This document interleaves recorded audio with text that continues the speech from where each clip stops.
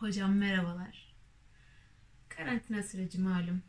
Artık her şey mecburen online oldu. Ben de derdimi size online olarak anlatmak istedim. Sistemdeki ödevle ilgili rahatsız ediyorum ben sizi. Ödev fazla. Çok fazla. Yani maşallah.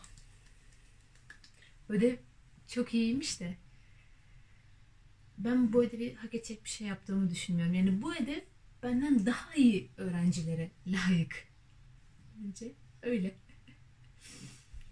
Öncelikle e, şunu belirtmek isterim ki koronayı üniversite öğrencileri yaymadı. Evet. Bunu şu sebeple açıklama gereği duydum. Depremde de e, böyle bir durumla karşılaşmıştık çünkü biz.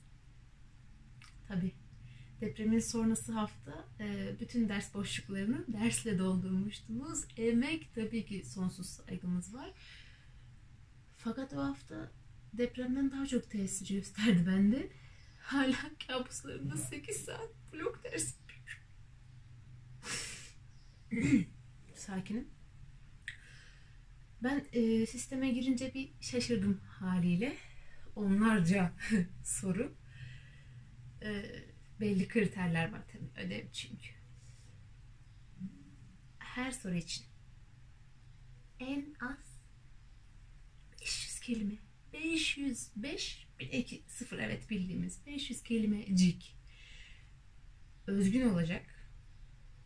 Kopyala yapıştır ya da kopyalama tarzı herhangi bir şey kesinlikle katiyen olamayacak. Olmayacak. Yasak. Kitaplardan alıntı olmayacak. Arkadaşlarımızın ödevleriyle benzemeyecek. Bir eser. Şaheser. Çok, çok pardon. Bir ödev istemişsiniz. Rica etmişsiniz. Emretmişsiniz. Ne yapmışsınız ayol?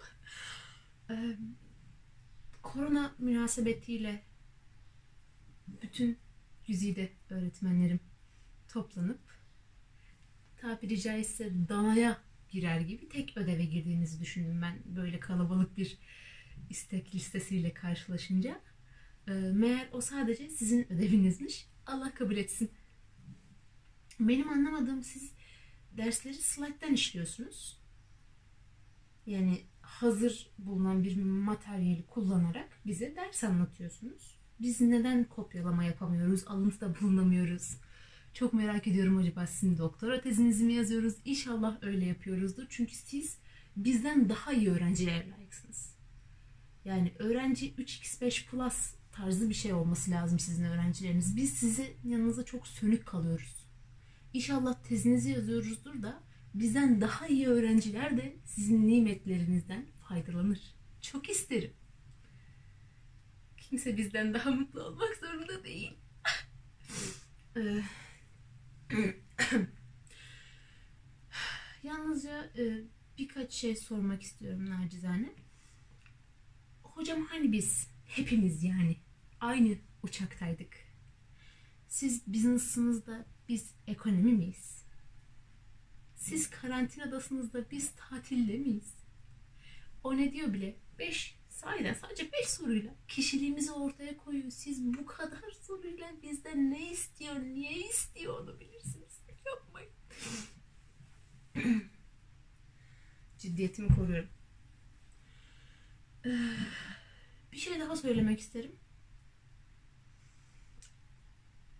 Ben önce soruya cevap verecek, gerçekten benzersiz cevap verecek donanımda olsa sizden mi ders alırım?